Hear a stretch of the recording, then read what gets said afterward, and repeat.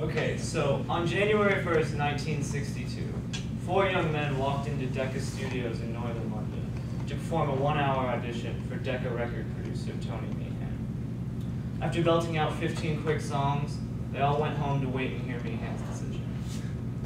The next day, the people at Decca got together and decided it was their position that A, guitar groups were on the way out, and B, the group they just saw audition had, quote, no future in show business. However, they could not have been more wrong, as the group they shot down that day was the Beatles, who went on to sell over 2.3 billion records worldwide and become possibly the most critically acclaimed band of all time. So with that in mind, I want to introduce myself. My name is Daniel Sullivan. I'm the manager of the independent folk rock group Okkervil River. I want to thank all of you EMI record executives for coming today and consider cashing in on the very profitable opportunity that would be signing Okkervil River to label. I'm going to explain exactly how it would be profitable for you, and then I want to illustrate some more quality aspects of the group by comparing them to some other groups and musicians. So, I might be biased, but I think Okkervil River is one of the best indie groups performing today. It seems the public agrees with me, as their album sales have been steadily increasing since their inception in 2002, with their most recent album, titled I Am Very Far, peaking at number 32 on the US Billboard Top 200 and getting to number five on the US independent label, independent label charts. It's also important to note that with my intimate knowledge of lead singer, Will Sheff, I can contend that future albums can also reach this same level of sales, if not better.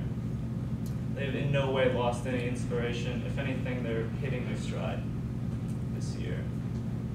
It's also important to note that critics seem to love the band. For instance, Pitchfork Media called their most recent album, I Am Very Far. Oh, wait, I'm sorry. No. Pitchfork Media called Will Sheff one of indie music's most ambitious thinkers.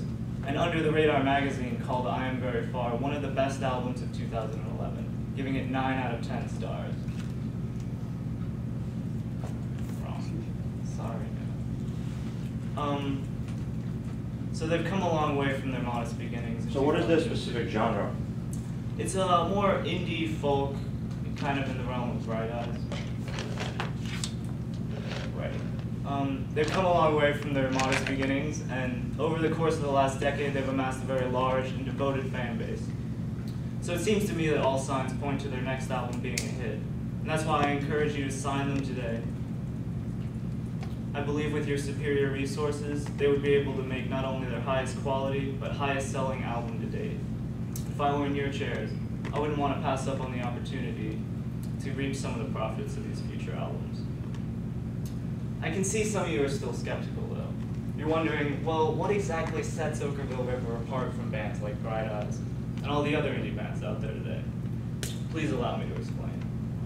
See, when I try to compare Okkervil River to any other group out there, I feel that they always outshine the competition. Analyze some of their most popular albums, like 2005's Black Sheep Boy, or their most recent I Am Very Far. You see they demonstrate a lot of the folk qualities that make bands like Bon Iver or Iron Wine so popular in the more indie alternative crowds. While they also demonstrate a keen ability to produce poppier, more accessible tracks that have gained them sorry, that are more comparable to bands like Arcade Fire and The Shins. And they similarly do so without sacrificing any lyrical or musical depth. This ability recently gained them comparisons to Bright Eyes frontman Conor Oberst and Neutral Milk Hotel's Jeff Mangum, again by Pitchfork Media. For those, for those of you who don't know, Mangum and Oberst are two of the most well-respected singer-songwriters in indie history, so a comparison is very complementary. Where I see them as being superior, though, is their ability to take aspects from all of these similar groups and combine them into a richer sound that they further that they further improve with Will Sheff's signature dynamic vocal style that ranges from warm and folky to passionate and intense. And they tie that all together with lyrics that are deep and thought-provoking, and song orchestration that's very tight and complex. This ability also recently gained them another comparison to the legendary Bob Dylan, this time by Michael Tedder of Spin magazine. So all of this says to me that while Okkervil River may share a lot with some contemporaries, as well as some of the greats, where they stand out is their ability to bring these aspects together into a broader, richer sound that has been proven to sell records. And so to wrap this up today, I introduced you to the independent folk rock group Okkervil River. I explained how signing them to EMI would be profitable for you because of their already climbing record sales, high critical acclaim, and ever-growing fan base. I illustrated that there's a high and sustainable demand for their music and that they show no signs of losing momentum. So I want to present to you the unique opportunity, sign them to your label, create a partnership that will allow them to keep making high quality, high selling albums, and for you to cash in on some of the profits. I have a contract drawn up that I'd urge you to look over and sign whenever you're ready so we can get this partnership underway. Please think carefully. I don't want you to be remembered in the future as independent music's Tony Meehan.